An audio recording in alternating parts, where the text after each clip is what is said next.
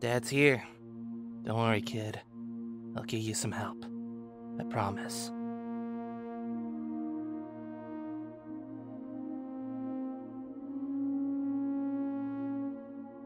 So, the secrets of the Anarchy Beryl, huh?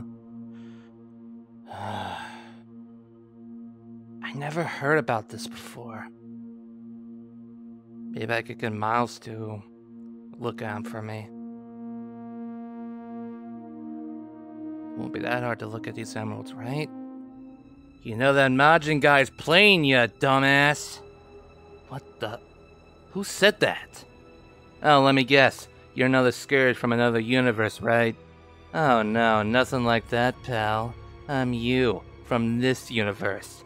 Back when we're at the top of our game. Top of our what? What are you even talking about?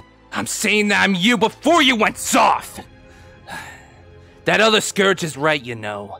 You're weak, pathetic, and a disappointment to the other Scourges. Oh, that guy? He's more pathetic than anybody. Plus, I already kicked his ass. Yeah, with help! You needed that Fleetway to help you win that fight. And not to mention that piss-stained Fleetway need the help of other Sonics to win that fight for you. Ugh, that fucker was gonna destroy the multiverse. Not only that, I needed to save, save who? You goody two-shoes brother Sonic? I still can't get over the fact that not only that you're friends with him, but you're brothers with that blue bastard? Back in that day, we hated him. We wanted to prove we were better. We were the evil Sonic after all. God, you sound just like Rosy. At least Rosy had a point! I've been sitting here in your brain for all day, throwing away your anti-roots. We were at the top of our game. We were the best, bad to the bone, most evil son of a bitch around. And now, look at us. We're nothing but a joke that can't even win a single fight nowadays. We done some pretty messed up things in the past, and you think you could take it all back? You think everyone will just accept you into open arms? Listen, pal. We're not Sonic. We're not that blue boy. We're nothing like that goody two shoes. And you're just ruining yourself just to try to be him. We never saved anyone in our lives. And you really think you could save that little runt? Don't you dare talk about my son like that! Then tell me why! Why'd you make the change? Why switch sides now? You even know you know it's gonna bite you in the ass in the end of the day. Fine. If you really want to know why I made the change, I'll tell you why.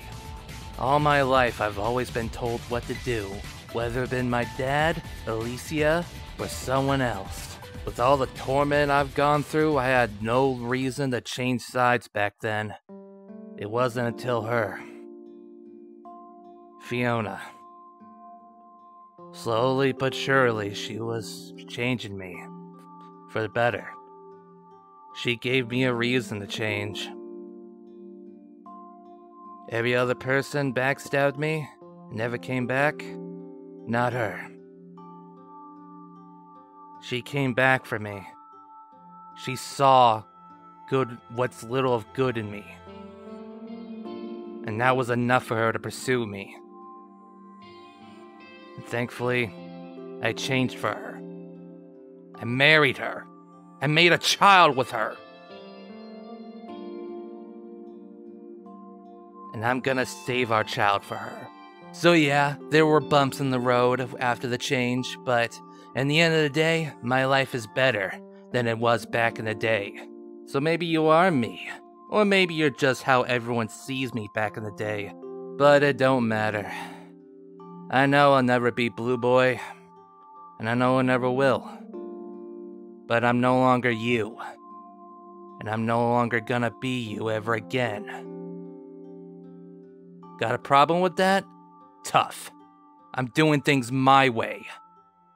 And that's the king of this world. Fine.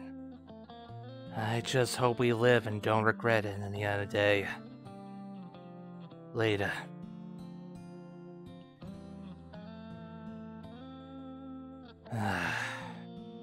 I'll make sure we won't. Because in the end of the day, I'm signed to Hedgehog at his full potential.